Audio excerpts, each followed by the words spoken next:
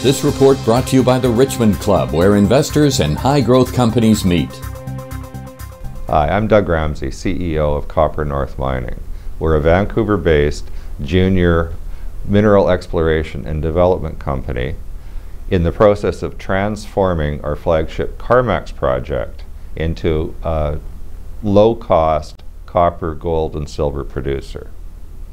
Over the past several years, we've modified our metallurgical process from what traditionally is used for oxide deposits into a two-stage agitated tank system that allows us to efficiently and effectively recover both copper as well as precious metals, predominantly gold.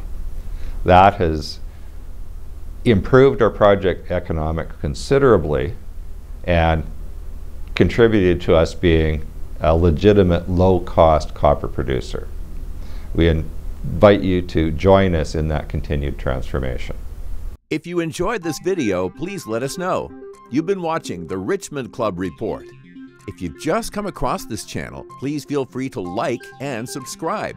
I'm sure you'll find a lot of interesting and lucrative investment and trading ideas around here. We'll see you again soon on the next video. Cheers, guys. Have an amazing and profitable day.